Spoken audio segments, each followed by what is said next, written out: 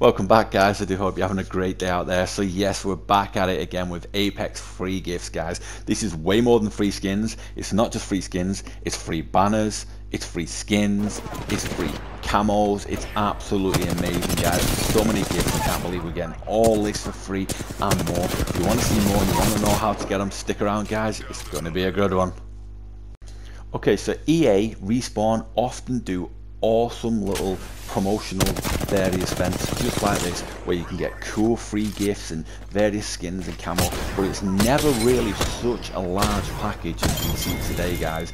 And this is absolutely one of the best gift bundles you can get. And these gift bundles come out very very rarely but they're part of the PlayStation Plus exclusive packs. And all you need to do is go onto the store guys and go over to the left click on PlayStation Plus move across and you'll see all the add-ons that you can get the exclusive add-ons. And this is it guys. You can get apex you can get fortnite you can get broforce you can get many many games. There's so many games there's battle royale games galore guys and there's so many free items. And as you see here we get two character skins two weapon skins two banners for octane watson havoc p2020 guys. It's absolutely amazing. Now this skin package is it's like a bright skin package so it's yellow and greeny blues like these colored like ocean type blues and it absolutely aggressive and like an aggressive player like i do guys it's definitely a good skin to get ideal to show off your prowess there guys in the world of apex. So it's absolutely cool. Now events like this they come pretty pretty often guys but it seems rare because they're not really advertised that much through the games. Let's say Fortnite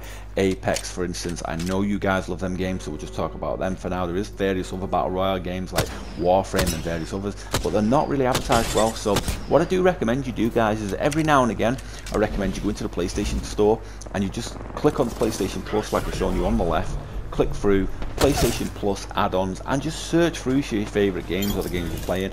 And even if you're not playing them at the moment if you do have an account on them it's a good idea to just select the packs and you can add the pack to your library. You don't even have to download it all the time guys. It just adds to your library. If it does download these are minimum size packs that just they're under 100 megabytes, so they're tiny compared to your hard drive, even if you are struggling for space, because I know a lot of you guys struggle for space with the PS4 now as it gets full up with all the games, and it's coming near the end of its life cycle, let's not forget. So, what you recommend you do is just click add to library, and then it will stay there, and then at least they're yours even if you're not playing that game now, you might want to come and play the game on PlayStation 5. I do know we're getting a lot of the games developed over, moved over to PlayStation 5. A lot of them are in testing now to make sure that they're compatible and they run with the processing, and the RAM. The main problem is how they talk into the RAM. That's the main issue that we're seeing at the moment with the testing, but that is all going through. So if you have these items on your library as the games get moved over, you'll even be able to use them then at a later stage, guys. If you've enjoyed the content and that video has helped you out guys, we do appreciate a huge thumbs up just down the bottom right. And if you've not enjoyed it and you want to see different content, don't be scared to give a thumbs down. That is perfectly fine as well guys. It lets us know what you like.